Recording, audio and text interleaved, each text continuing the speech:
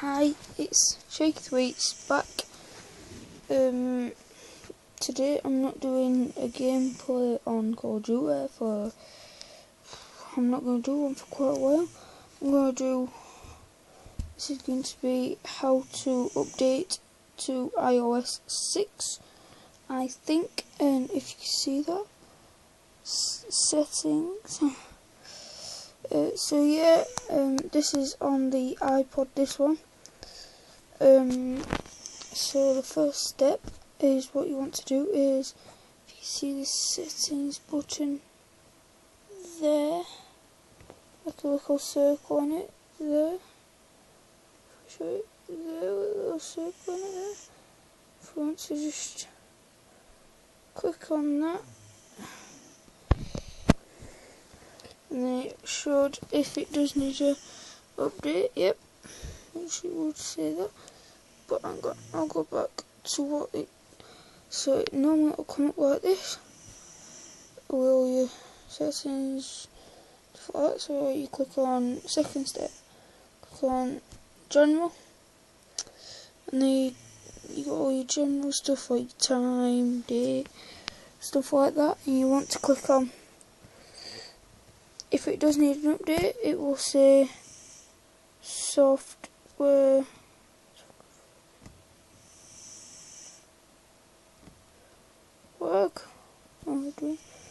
Oh, it says software update there. Focus. And it's got like a little grey one. So what you want to do is just click on that and that'll come up with this iOS oh. 6.1.3 with all settings picture next to it. Sorry about this, I've got to do it with my hands. It's late at night. Um, you can learn more about it if you go on, just click, just click on learn more, it comes up with links with a link. Just go back and you click on install now.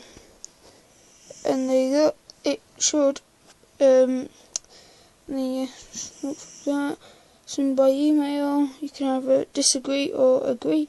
To click on agree, um, then click on agree again, and it says that verifying update.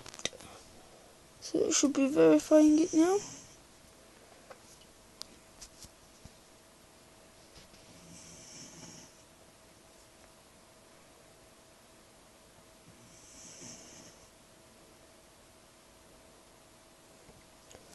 Well anyways that's what you do. You just verify an update it should update it. So yep um see you later. This has been shaky thwaites.